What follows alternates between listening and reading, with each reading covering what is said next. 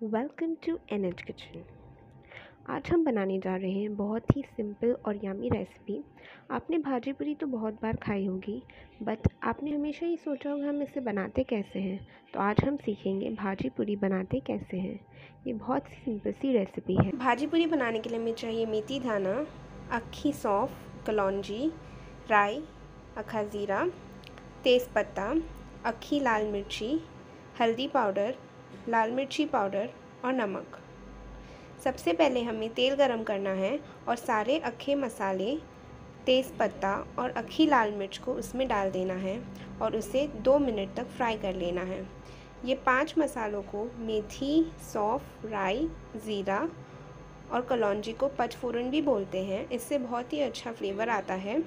इसीलिए हम कोई भी भाजी में इसे डाल सकते हैं।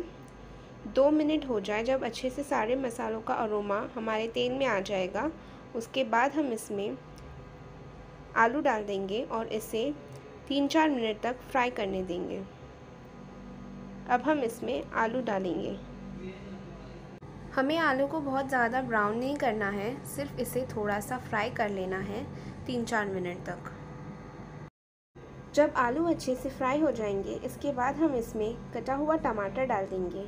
और इसे भी दो तीन मिनट तक सॉफ्ट होने तक फ्राई करेंगे।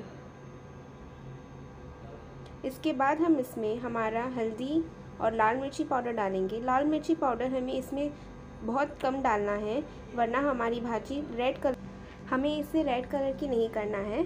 अब पानी डाल देंगे हम इसमें और इसे दो तीन सीटी आने तक अच्छे से गला लेना है और फिर हमारी भाजी रेडी हो जाएगी।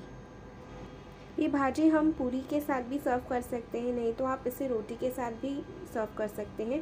भाजी की कंसिस्टेंसी आप अपने अकॉर्डिंग सेट कर सकते हैं। आपको अगर इसे ज़्यादा ड्राई चाहिए तो आप ड्राई कर सकते हैं। बट ये भाजी थोड़ी ग्रेवी वाली अच्छी लगती है। मैं आशा करती हूँ आपको हमारी रेसिपी पसंद आई है। अगर आपको हमारी रेसिपी पसंद आई है so please do like share comment and subscribe to a YouTube channel N H kitchen thank you